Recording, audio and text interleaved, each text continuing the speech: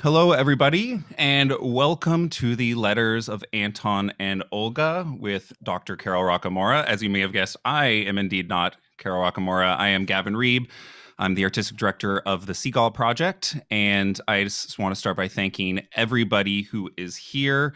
Uh, it is so great to have you uh, supporting us uh, during this odd time uh, and in these new forms. Uh, I will say that um, I am probably about 30 seconds ahead of the the chat, uh, but we are paying attention. Chat. I see people talking. Hello, folks. Feel free to say hi in the chat. I am um, just uh, loving that everybody's here. So thank you for coming through. Um, I'll say that this uh, event uh, is the tail end of our 161st birthday celebration of Anton Chekhov. Anton was born in, on January 29th, and this year we've been celebrating it for about three weeks, which has been wonderful. We've had a, um, a bunch of fun little releases, some messages from our ensemble. And perhaps the biggest event is happening right now and uh, continuing into tomorrow when we release I Take Your Hand in Mine which is partially what we're here to talk about the love letters of Anton Chekhov and Olga Knipper with our fantastic uh, friends here. Before I introduce them, though, I should also say that we are indeed in the middle of a campaign. It's been going very well, and I want to thank everyone who has donated and continues to support us. Um, we are also continuing that campaign. It is not done yet. We had an incredibly generous gift from a donor uh, of a matching fund of $10,000. What that means basically is that when we hit $10,000 in donations, we get that other $10,000. It's a really nice one two combo. And we are about $2,000 away from that goal.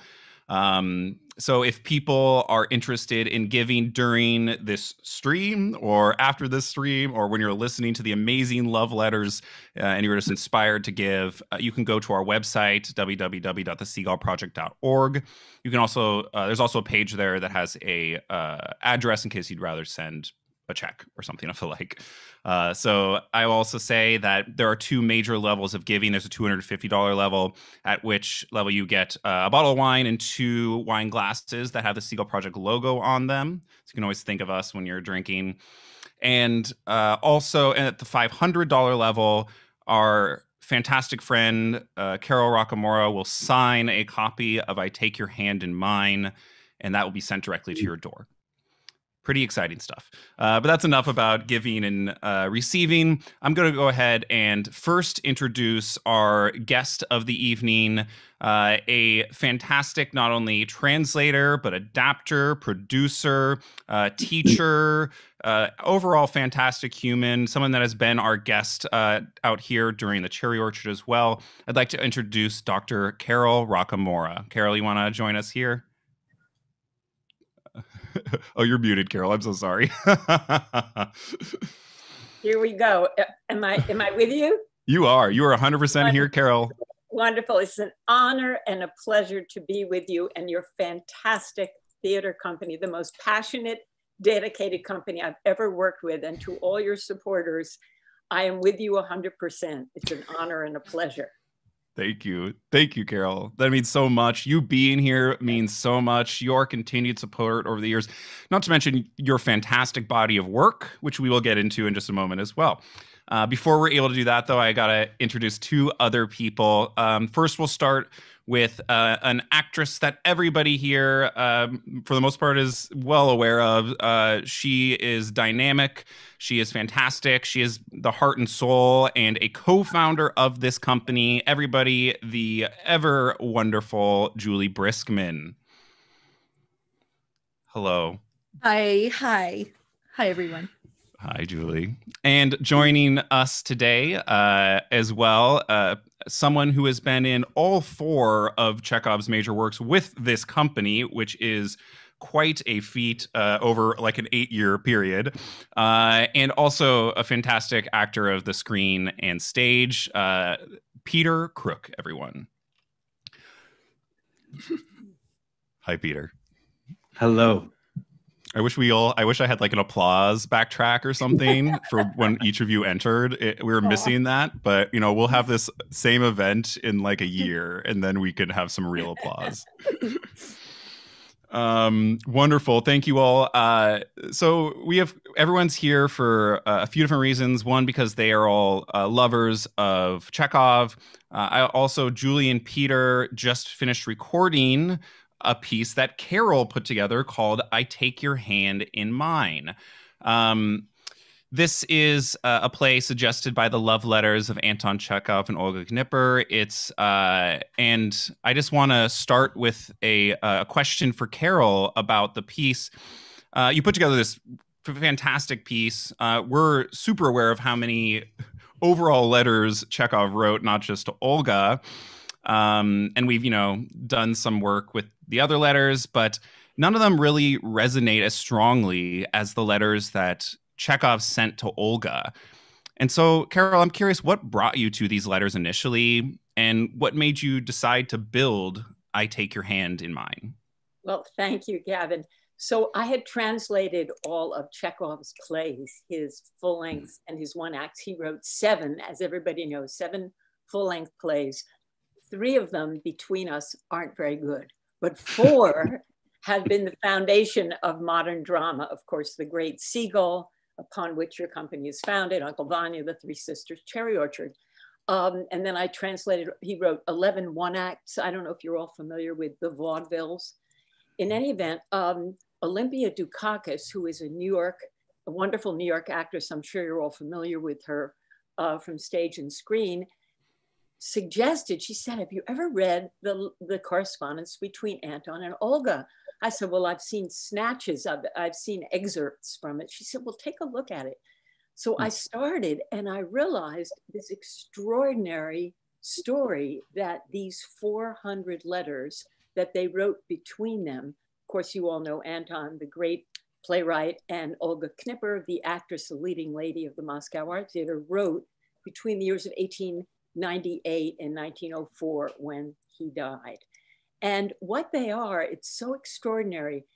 I mean, they're two extraordinary people, uh, great um, pillars of the history uh, of, of Russian theater, etc. So it's a story about their love between each other. It's a story about uh, the Moscow Art Theater. It's a story about the times, but it's also a very honest story of a marriage and a love story that so many of us can relate to.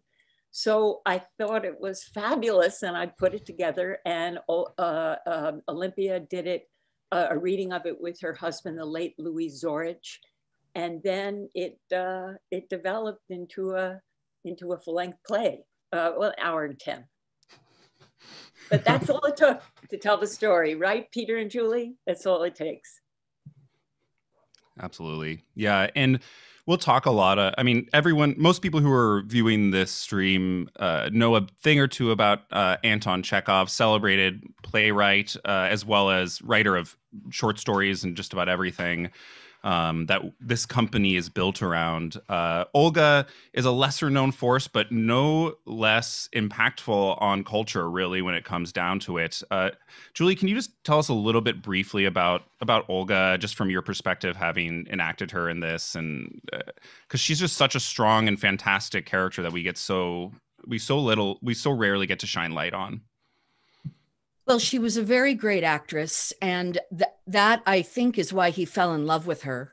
Um, she was very um, passionate, a little bit of a. There's a wonderful picture of her, and she's looking very sort of like this. And and Chekhov's comment is, "Yes, but behind those eyes is a minx," you know. So it's like this, but really the the naughty underneath. And she was very passionate and very moody and very theatrical you'll you'll hear in her letters to him she's very theatrical um not just on the stage but i mean she was she was the leading lady of the moscow art theater. I mean and all the directors loved her wanted to be with her um in all the ways. And uh yeah so she was a force to be reckoned with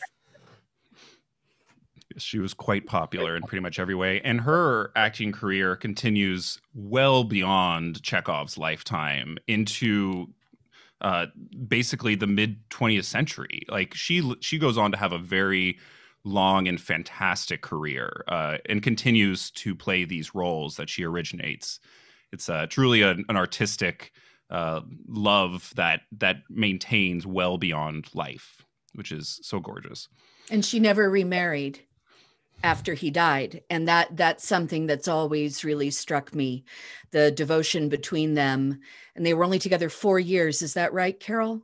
6 years actually. 6 years. 98 through 04 but i and think she had a lot of guilt which of course is revealed in the play. I don't want to Yes, I don't, want to give that away. Spoiler. no, I know because I learned so much about her from this play that it was like, oh, oh, that happened. Oh, I, yes. things that I did not know until you revealed yes. them to me, yes. and that was very exciting and interesting. But she well, outlived him by about fifty years.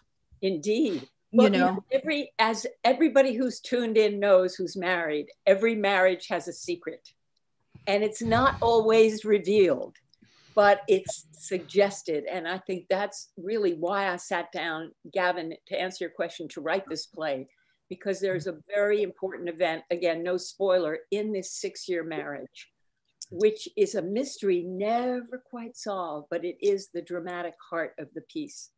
And they stayed together and they loved each other very much, even though they had a commuter marriage, so to speak, which I'm sure many people on this Zoom have as well.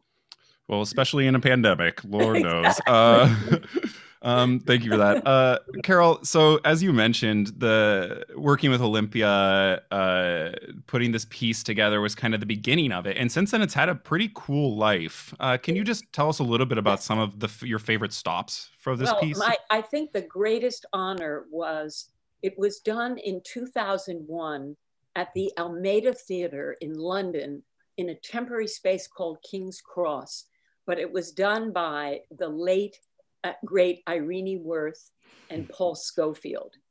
She was 85 years old and he was 80. It was extraordinary. But of course, they did two readings of it. It was great the first time, but the second time, Irene was starting to rewrite the play as she was reading it. Anyway, that was a great honor. Um, then it was picked up by Peter Brook. I'm sure everybody on the Zoom has heard of Peter Brook, the great British director who has his own theater company in Paris. He put on for three years a French language production starring the late great Michel Piccoli, who's a wonderful screen and stage actor, and his wife, Natasha Parry, both of whom unfortunately are no longer with us. And that was a great honor. It was done at Théâtre des Bouffes du Nord in Paris.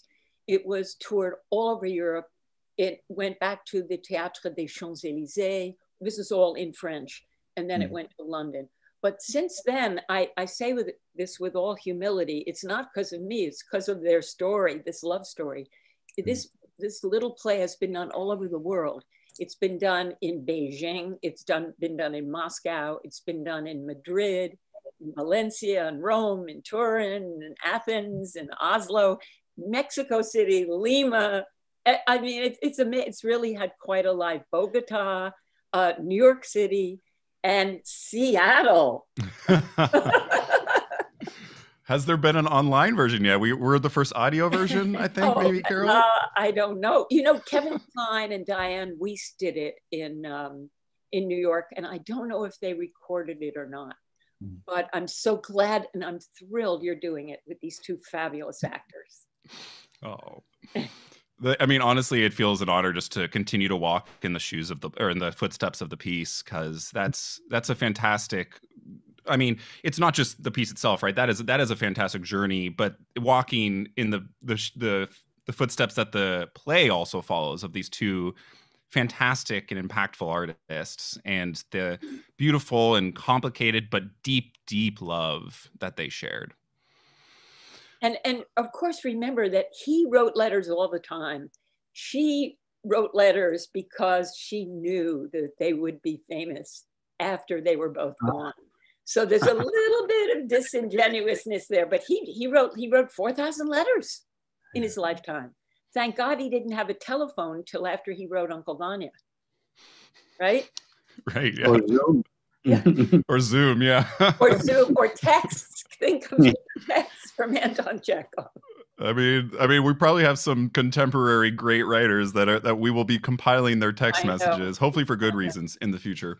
Yeah. Uh, yeah. I mean, and and the story of of Chekhov's letters are interesting too because they were protected by his sister, right, Carol, and kind yeah. of maintained throughout her life.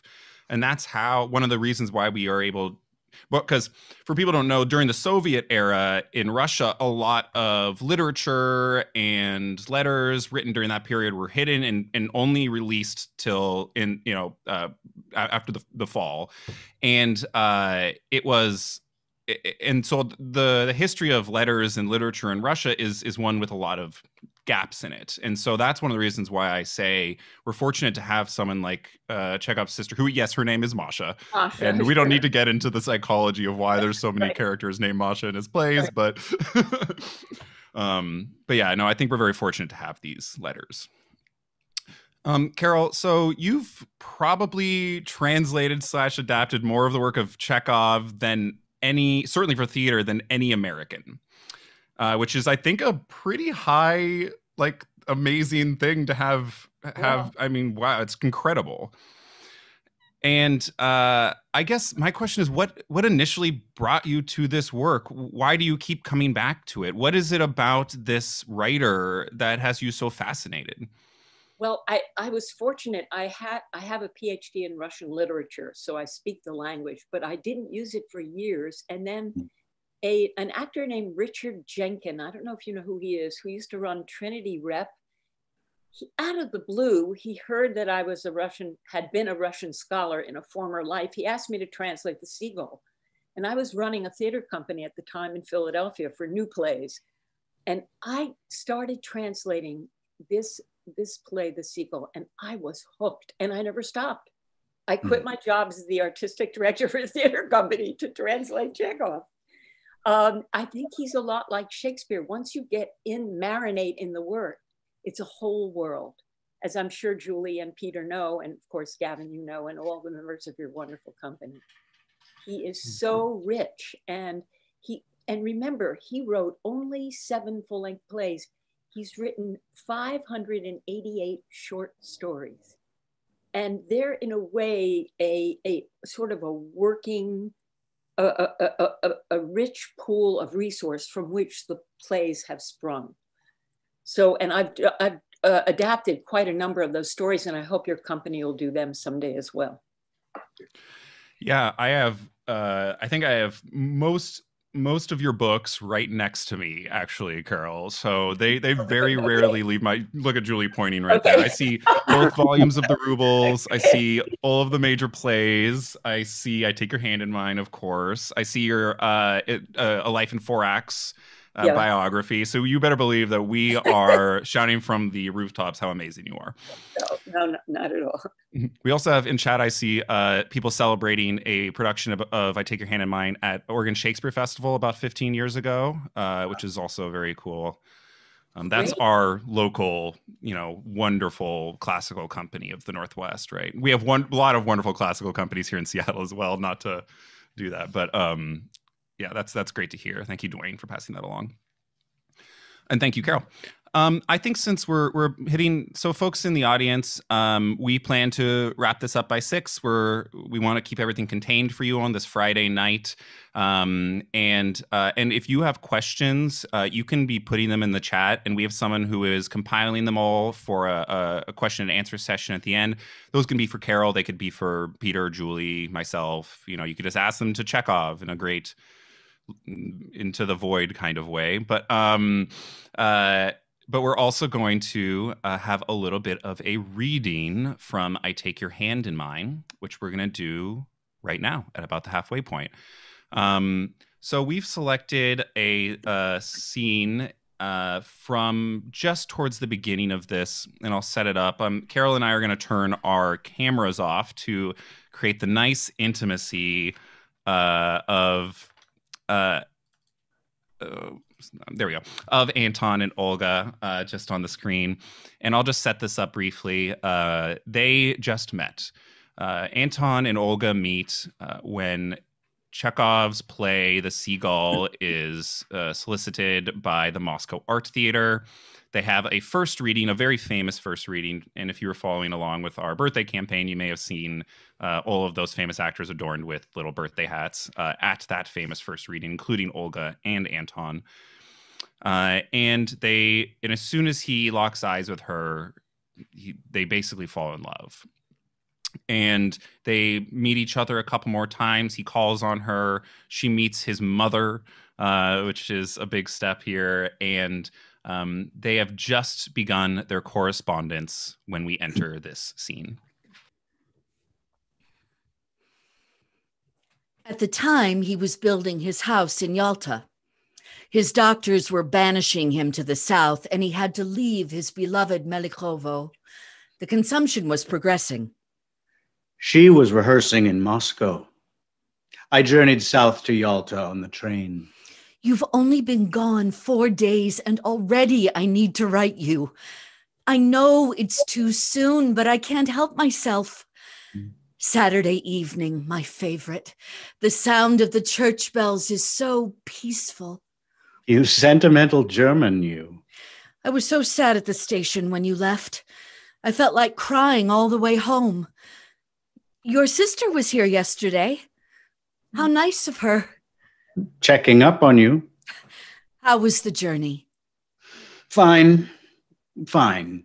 My companions let me take the lower berth. I ate everything in the basket. No boiling water on the train for tea, though. Arrived at my house in Yalta late last evening. It's so quiet here. I sat indoors thinking of you. My dear actress, if only you knew what pleasure your letters give me. I bow low before you, very low. So low, in fact, that my brow touches the bottom of a well eight fathoms deep. Thanks for the photographs and the sweets, and for your letters, too. I was so distraught, I thought you didn't want to write to me. This morning we rehearsed Uncle Vanya. Tonight I play Arkadina in The Seagull. Stanislavski can't come to Vanya rehearsals. He's directing Ivan the Terrible. How is he going to play Astrov if he's not at rehearsals? Good luck. He's not a bad director, but he's a terrible actor. Why don't you write more often? Don't you feel the need? Nothing to write about. It's so lonely and dull here. I feel I've been living in Yalta a million years. Today I caught two mice. I press your hand in mine, busy actress. Don't forget me. October 26, 1899, opening night of Uncle Vanya. I was so excited. Was I all right in Act Four? You're an unusual man, unique. We'll never see each other again, so why hide it? I was attracted to you in a way. Go then. Finita la commedia. I'm keeping this pencil as a remembrance. Brava, dear actress. Sounds wonderful to me. How they loved it. I telegrammed right after the performance. I know. They rang me. I ran to the phone in the dark, barefoot. God, the floor was cold. then hardly had I gotten back into bed when it rang again. The only time in my life when my own fame kept me awake. I was terrible, abominable. The play was a, was a success. The audience raved, and what do I do? I act appallingly. Had to take valerian drops to calm myself. You have no idea how it feels to know you're acting badly. You wrote that yourself, remember? You're overreacting. Really, you are. A few bad performances are no reason to feel low. Art, especially the theater, is a world you cannot enter without stumbling over the threshold. There are many days of failure ahead, whole seasons, even. Things will go badly. You will have huge heartbreak. but you must prepare for it, expect it, and follow your path. Come see me. I need you. Be calm, dear actress. Success has spoiled you. Ordinary, everyday life just isn't good enough. How I suffer for my work. One day I'm up, the next day I'm down. For the love of God, write. I write you so often that it's hurting my pride. I must treat my little actress more severely and not write to her.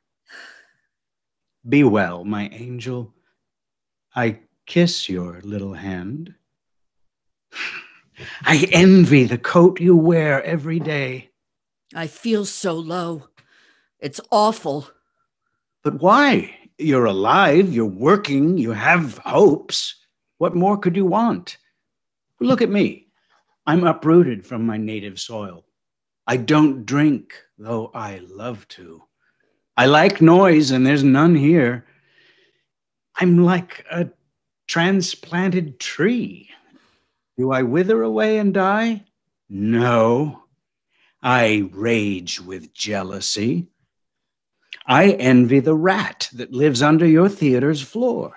New Year's Eve. Tonight we played Uncle Vanya. 1900. Imagine the centennial. Happy New Year, my remarkable actress. There was thunderous applause. It was thrilling. We're taking it to Petersburg. How I wish I could see it. It's cold here, cold and quiet as the grave. Write to me, please. I'm so bored. I feel as if I'm in a prison. Come to Yalta in the spring to celebrate the centennial. Why don't you? We're coming. In April, the whole company's coming. We'll bring the set of Uncle Vanya. We'll perform it especially for you. Dear actress, it's March at last. Lilies, irises, hyacinths are all in bloom. The willow is blossoming. The grass around the bench is lush and luxuriant. The almond tree flowers. All nature is expecting you. I've put benches everywhere in preparation for your arrival, wooden ones, which I've painted green myself.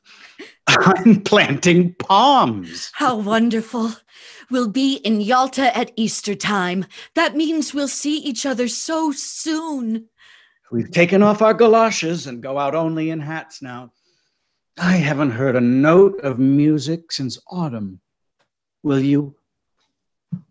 You will bring the music. We came in April. It was like a festival. We arrived in Yalta and were strewn with flowers. We performed Uncle Vanya for him. Rachmaninoff was there and Gorky, Bunin and Kuprin, Tolstoy too. It was glorious. Every moment of it I treasured. Lunches, dinners, parties till all hours. I entertained them day and night. We swarmed all over his little house, sat in his study, wandered in his almond orchard. A whirlwind of life and laughter and hope. We left the swing and bench from Vanya in his garden. Must you leave so soon? We must. The Petersburg Spring Tour. You know. Hmm. I came to Moscow soon thereafter. It was so empty in Yalta after they'd gone. I couldn't bear it. But he was not feeling well, so back he went. In June, I journeyed by train to Yalta, to the wonderful, luxuriant south. The gentle sun, the scent laden air. We're traveling in a carriage with two large Armenian ladies. I'm counting the miles. She arrived in early July. The azaleas were in bloom. In July, we became lovers.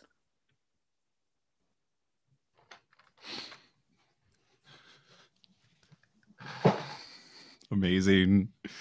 Oh gosh, wonderful job, you two. Thank you so much. Um, uh, I guess I would just like to encourage the people on our YouTube to just put up their their applause in the chat. we do appreciate that. I will pass it along uh, personally to Peter and Julie. Um, that was wonderful, you two. Thank you so much, Carol. You're welcome to join us as well. Um, there, there she is. There we go. Hello. Brava, brava. Thank you, Carol. Wonderful. Um, that's that's wonderful and so things really just take off from there and there's so much beautiful language throughout it you can he's he he constantly walks that line of you know and it's it's all over his all of his work right of of like kind of shruggily com- comedifying everything but also having this just pure depth to him Exactly.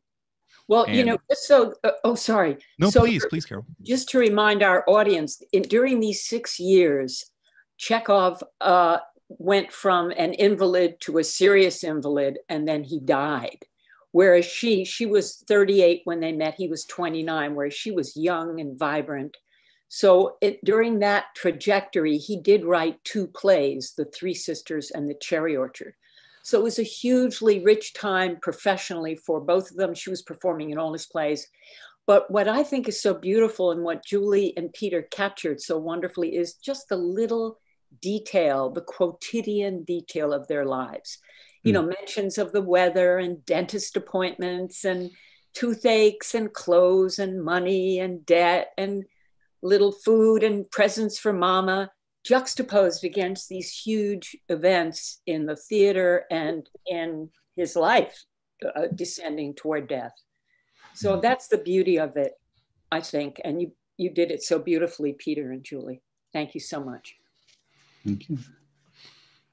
Um, we do have applause coming through the chat, by the way. So just sharing that with everyone. Uh, and folks, I just once again want to encourage you. Please feel free to use the chat. We love hearing from folks. We love seeing you have conversations around this work. Um, I think that's one of the great things about these new platforms is that uh, it- there's a different way that we can all activate. So feel free to just keep chatting. Um, so you know, Peter and Julie uh, and I have been working on Take Your Hand in Mine in one way or another since August. Uh, we recorded it at Jack Straw uh, Cultural Center in September. Uh, and uh, and we're aiming for a, a Valentine's Day release. It will release officially tomorrow. Um, I know, right? Right. Um, uh, and Julie has uh, has also read some of these love letters um, at various Great Souls and Zakuski events since our founding. Um, I also want to encourage anyone to let us know if you have heard us read these outside of the context of I Take Your Hand in Mine at any of these events. Put it in the chat. We'd love to hear your stories or your memories about that because they're fleeting for us, but um, we love when you can light them up. Um, we're obviously in different circumstances now where uh, reading love letters together is a little more difficult. Um, but uh, I was just curious, uh, Julie and Peter, if you could talk a little bit about the experience recording these um, under the current circumstances, and and you know what it was like to be in the studio together and to engage with these in a different way, especially when we've spent so so long away from one another. Uh, I'll just toss it over to you to talk about your experience working on these. You go, Peter. I, uh, I first of all, thank you for um, this experience of of this piece. Uh, each time we do it, there's more uh, that hits my heart so strongly. Um, uh, the, one of the takeaways that I found f- rehearsing this in this medium, making sure you're not muted and making sure your camera is on and your light is working and and your notes and your script are in front of you and everything is uh, blended. Um, the rehearsing, we had uh, some great give and take, but the low, the sound would overlap, so you'd have to stop and go back. But in a rehearsal, you miss you you can over you can talk over each other, uh, and sometimes uh, we do ad infinitum. And uh, but getting into the studio in our masks. and our our headsets came off, our masks came off. We were separate, Julie and I. Gavin was in a separate booth. Our lovely engineer was in a separate booth, and Julie and I were free to play. In that space with these beautiful words and these events in these letters, this correspondence that, as Carol says, goes through life and death, death being very much a part of this life together with them.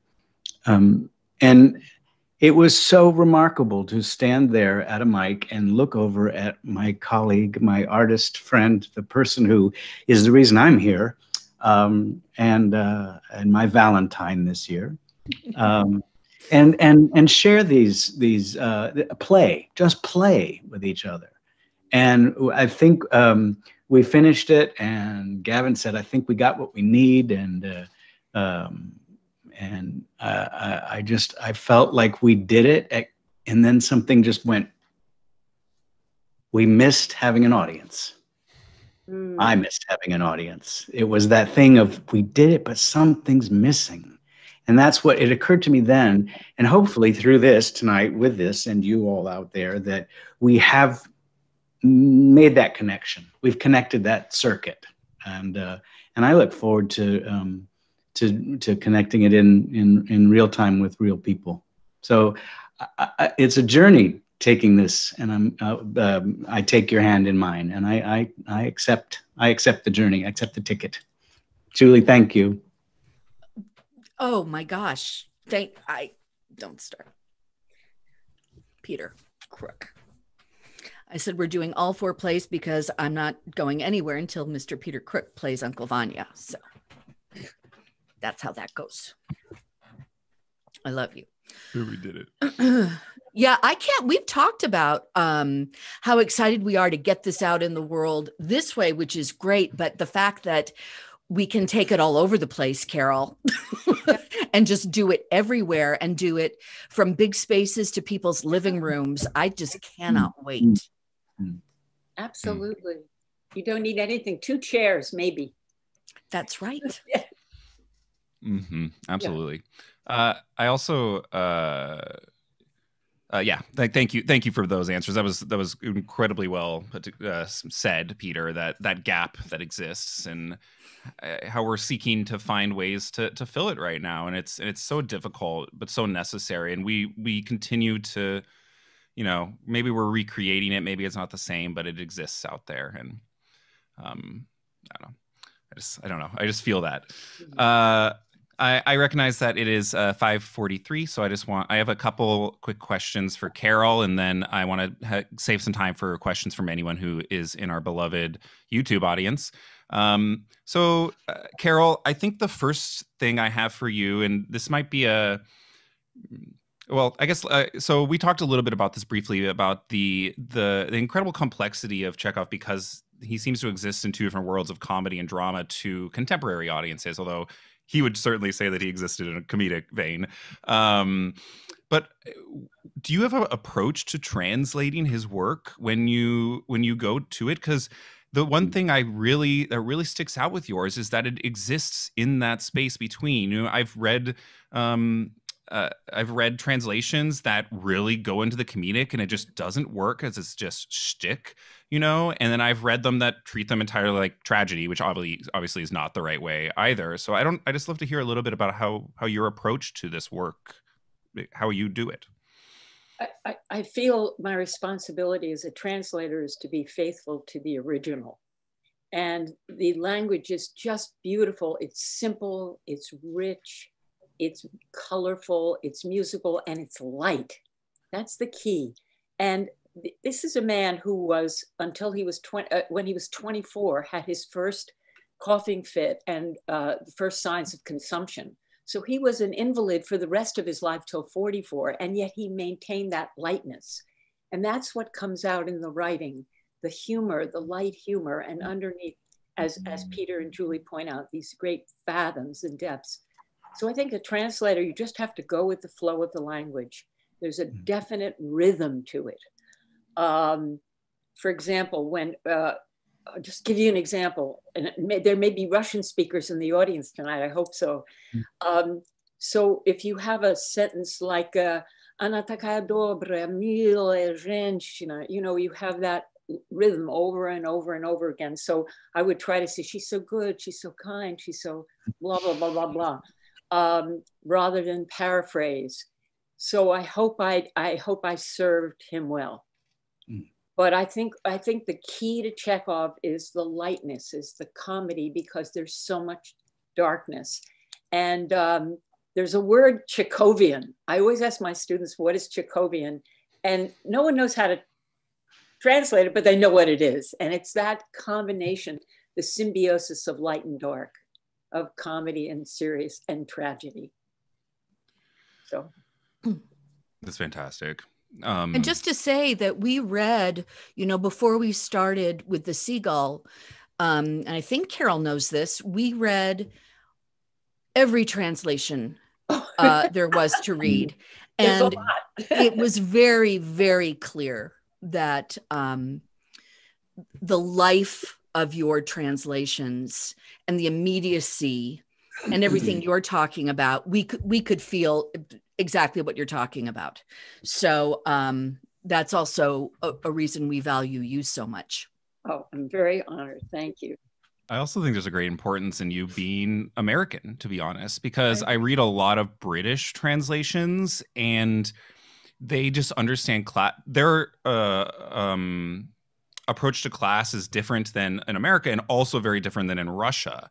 And I often feel that American, because uh, we, because America, we're really known for this sarcastic, uh, dripping with irony kind of thing. And um, not that everywhere else isn't in one way or another, but it's just a different way. And I think there's something, it didn't feel like you were playing into that kind of those kind of British qualities or anything. It was feels purely American. It feels like it, it, it well Russian and American, right? It feels like it exists in a different frame, and I, I don't know. That's just because it's you, and it's just you writing what you feel in there. Um, but I just I want to celebrate that because um, it it it feels you know all at once working class and and a struggle and full but also just but it also still has you know the Gaevs and the uh, and the Arkadinas and and all of these these rich characters both in literal physical wealth and uh, and in writing so. It, do you know what I would do? I would I would cheat. I would go um if if we were looking at a few at a time I would I would go to the speeches and particularly if it was something I was going to be saying. And it was like, no, well, this is the one. This is the one because there's an immediacy.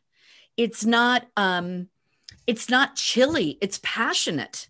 It is well, that's him. That's yes, him. it is what it is. He says what he means. Yeah. You know, so um yeah, you're just yeah. Well, we just we adore you. So yes. Oh, we adore you. Thank you.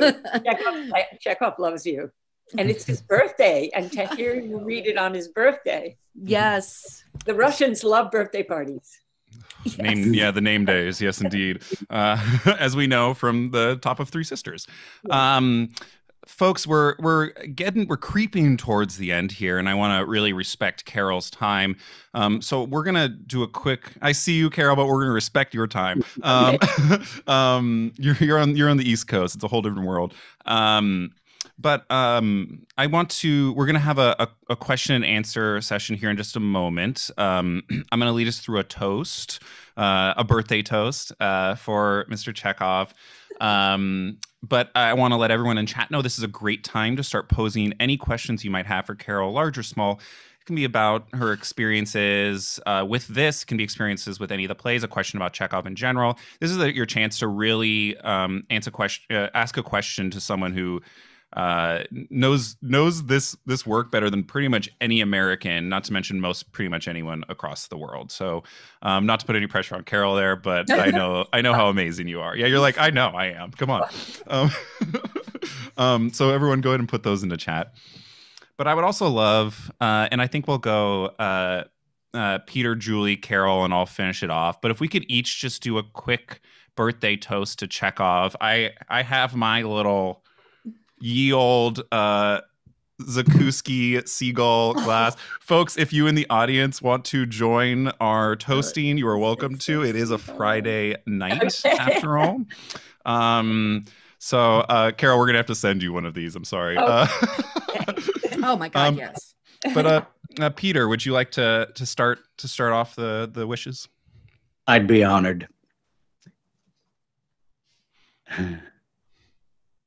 to Dr. Chekhov, the artist, the lover, the soul who understood that through sickness and loss and separation, the only cure is the theater. Opuskai. Opuskai.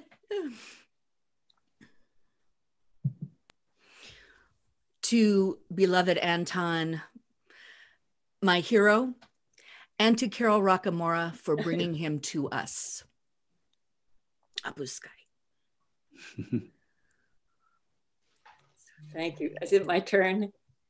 So I say, Dr. Chekhov, you once said that you only had a few more years to live, and after that, you would be forgotten. Please know you are not forgotten, nor will you ever be. Thank you for the gift you have given us. And I'll build on this. This is to the great doctor, the great writer, the humanitarian, the man who always, uh, whether it was building a school in a little community or going to tend to TB victims in Siberia or creating one of the first massive prison um, censuses uh, in uh, uh in Eastern Russia, someone whose heart has always been about people first and about his great love of them. And so this is to the people who continue to carry that message on, whether it's through translating or uh, carrying on his words or just carrying it in our heart. So, this is to the great legacy of uh, a great artist, but also more so to everyone who has a part in maintaining that legacy. So, thank you all.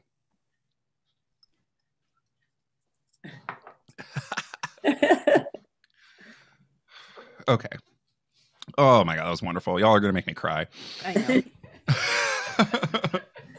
um, and laugh. And laugh at the same time. That's right. Right, right. Yeah, I always people are always like, so what's like, what's up with Chekhov? Why do you like that? And I'm always like, well, he's the only player who has ever made me laugh and cry at the same time. um, and y'all do it too. Uh, so thank you. Uh, I uh, okay, great, great, great.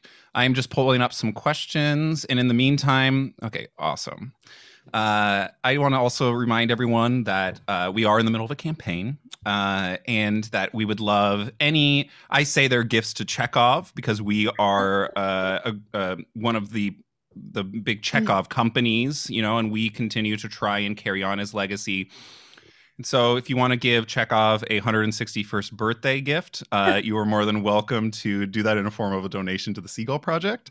Um, and we would greatly appreciate that once again, you've seen how uh, brilliant Carol is, and if you want uh, a signed copy of "I Take Your Hand in Mine," uh, then you can give it the five hundred dollar level, two hundred fifty dollars, and we get you uh, that wine in the glasses. Uh, but you can also give it any level. We appreciate it so much. We're so close to that matching goal, and regardless. I, I want to let all of our donors know how much we appreciate you. There's like 50 people watching right now, and that's wonderful uh, you're taking time on a Friday to hear us talk about love letters. Um, thank you so much for all of that. Um, uh, all right, I do have some questions here, so let's get to these. Um, oh, uh, we have uh, uh, this is for Carol. What were some of the responses in? Uh, oh, say sorry. Oh, um, was were all of the letters in Russian, or were there other languages mixed in there as well, Carol?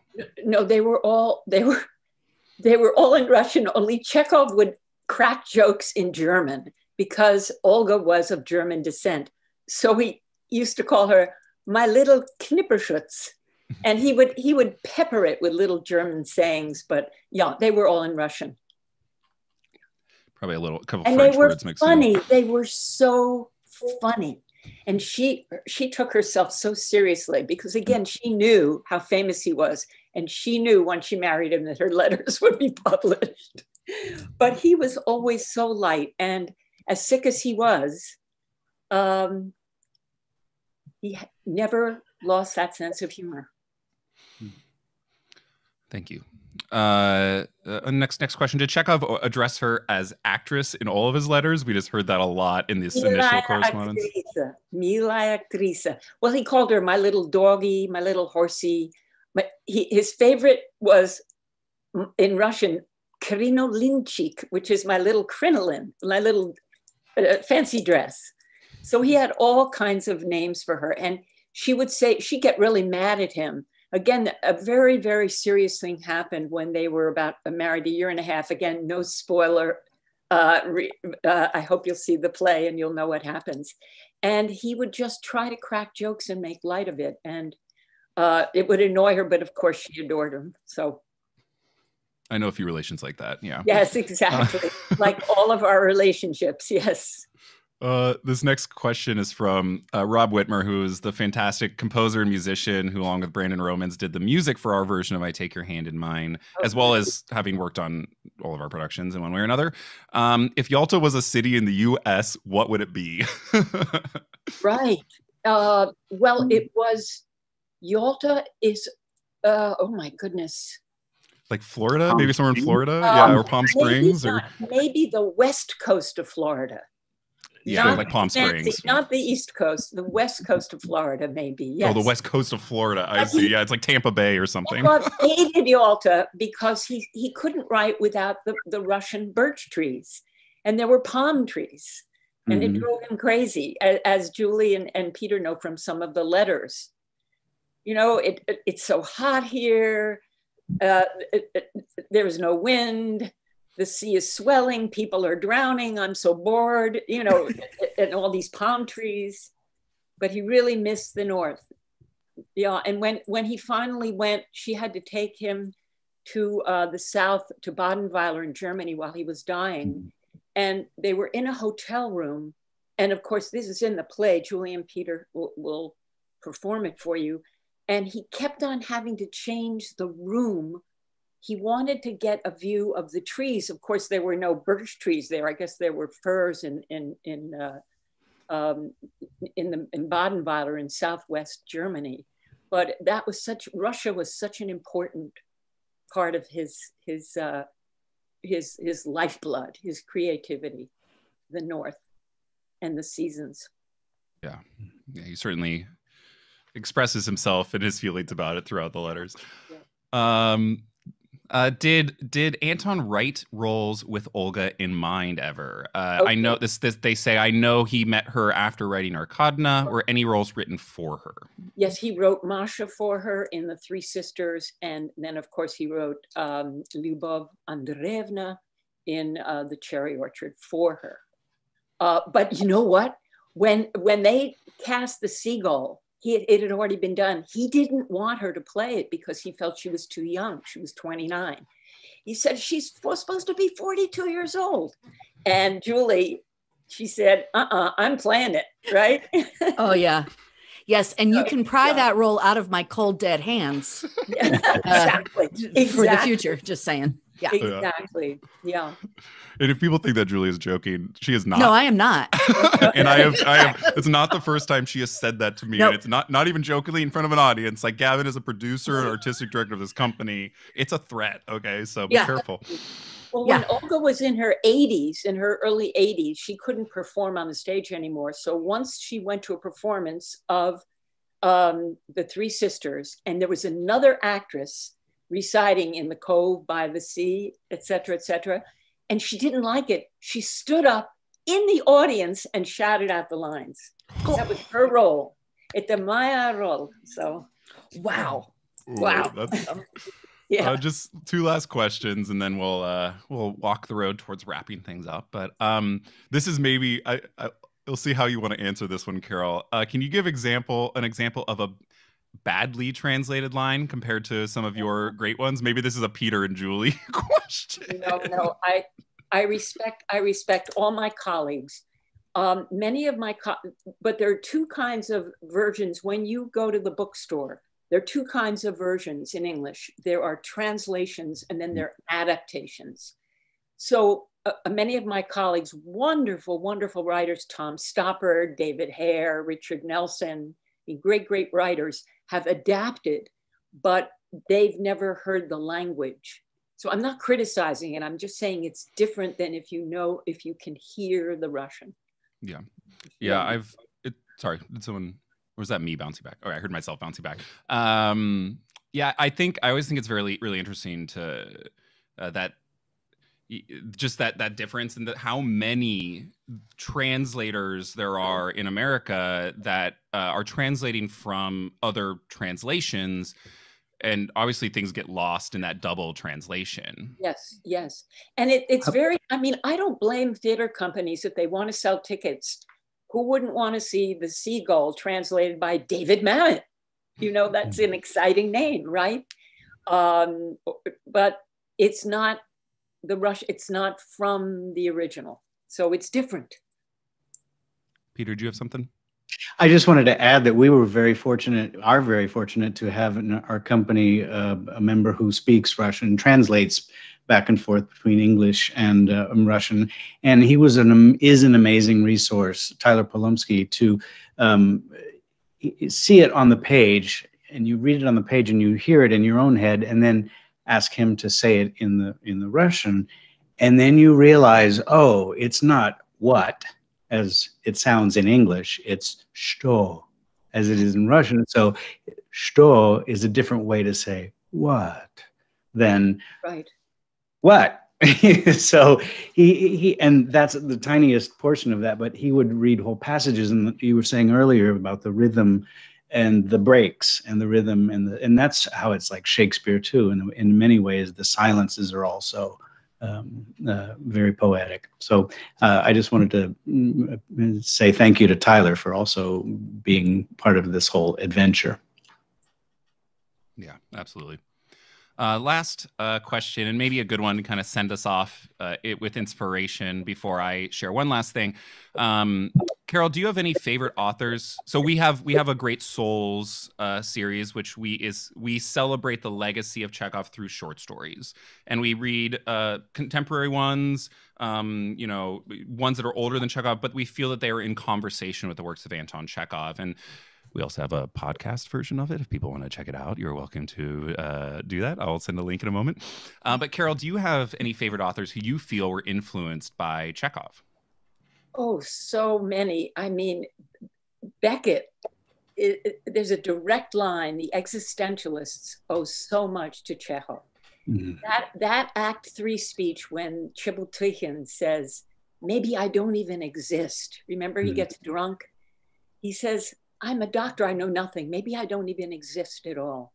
Um, so that all the great existentialists owe a, a, a debt to Chekhov. Uh, I mentioned Richard Nelson, so many, uh, uh, Brian Friel, uh, so many great contemporary American and British authors have been inspired by him. Even yeah. Woody Allen. Absolutely. That's and, a great know, you... movie. That's a great movie. yeah. Mm-hmm. Mm-hmm. Yeah, I would say that uh, it's hard to find a contemporary contemporary writer who is not some way influenced by him, whether they know it or exactly. not. I was I wanted to ask Carol. Um, just brought us brought this up, but it, so his influence moved west. Did it go further east uh, to China and and the, the other rest of Asia and Japan? I mean, has it been translated there as well and done there as, as well? You know, I I, I have a, a colleague had, has produced this play, I Take Your Hand in Mine, with two famous TV actors in China and taken it all over China. They mm. know Chekhov, they love him. Mm. So he's he writes about, he says, I write about life as it is. That's mm-hmm. his quote. And he writes about what it means to be a human being. All the joys and sorrows of life, the foolishness of life, the ecstasy, all of it. So, uh, yes, the answer is yes. well, we're going to have to uh, continue to. That's one thing. It's like we always have to make sure that we're trying to take in the different interpretations around the world because they help feed us too, which is yes. wonderful. Um, one last thing I want to give. This is our gift to our audience for uh, tuning in tonight. Uh, I am posting right now in the YouTube a link to I Take Your Hand in Mine. Uh, it has not yet actually been released. Uh, it's here. I'll put it in our chat too here to make sure that I want Carol to have it. Obviously. um, uh, to um, so this is not. We have not yet technically released this. Uh, we are releasing it tomorrow, but I wanted.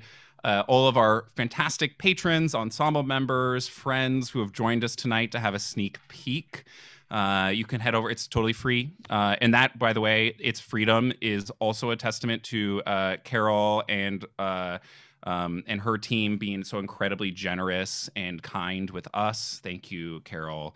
Oh, um, uh, and so, but folks, please enjoy it. Listen to it. Um, it's really gorgeous. It's a wonderful thing. to Just put on in the background, you know, while you're enjoying your Valentine's Day. I'm sure it'll spice things up for you a bit. So that's the, so we put a lot of work into it, and we're so happy to be able to release it for free uh, to all of our fantastic patrons. Uh, share it far and wide. Uh, I'll obviously put out some information about it as the week progresses, but I just wanted to use it as a way to to thank everybody who came out to join us here. Uh, so that's in the chat. I'll also send a follow up to everybody who RSVP'd and our donors uh, who who donated during this campaign to make sure you have it as well. So just thank you so much, everybody. I I hope you enjoy it. We enjoyed making it. Um, and I guess I just I'll, I'll, give everyone just a little bit of space here to to say something final before we uh, say our goodbye to Carol for now. I'm sure we will see a lot more of Carol in our future. It's inevitable. Um, but why don't we go Julie Peter and then Carol, uh, and then I'll uh, I'll close us up. Just thank you everybody so much. We love you, and as you know, we we could do absolutely nothing without you. And thank you so much for seeing us through this really challenging time. It means the absolute world to us. So thank you. I want to echo that. Thank you. And uh, say thank you to all of our sponsors and patrons, the people who've stayed with us over the years and look and made us work harder and be funnier and faster and and I look forward to the next few years with this uh, this company and the the great things we have in store. So I'll see you all at the theater. Yes. And thank you so much for uh, supporting this amazing theater company. Its dedication, its passion, its fierceness, its tenacity, and its love for the theater is unparalleled. Brava. Thank you. Carol, Carol, uh, I love you so much. Uh, I, w- I wish you were. I wish we were not in a pandemic, so you could be here and I could give you a big hug because I would do it. Absolutely. Uh, I'll, I'll just say yes. I'll just echo it. Thank you, everybody. I, I just, I can't, I can't express how how thankful we are that we we're having this campaign right now, and this campaign is making it so that we can we can bridge the rest of this gap and and create theater in in the future. And it, it just means so much to us that you support and that you continue to give and that you that you find that our work and the work of anton chekhov and our continual strive of this company to do better and better and better at that work uh, that it's important to you. So just thank you for supporting theater. Thank you for supporting the arts. Uh, thank you for continuing to be a humanitarian in whatever way it may be during these these really difficult times, and and thank you to Carol um, for. I mean, honestly, I don't know if we would be here. Well, we certainly wouldn't having this conversation right now, but I don't know if we wouldn't we wouldn't be here if if if uh, someone at Trinity Rep hadn't asked you to adapt the, to oh, translate the seagull years ago, and the the the American theater and the world theater is so much better for it. I really, really mean that. And we are so much better for it. And we have had better conversations. We have had, uh, we have united with our patrons and our ensemble. And a lot of that is because of you. Uh, so oh, just thank you so much. Thank you. Mm-hmm. All right, I'm going to uh, close down the stream. Uh, I just, once again, a lot of love to everybody out there. Thank you for tuning in, and uh, we'll see you at the theater. Uh, feel free to to make any donations if you would like, um, and we will we'll see you very soon.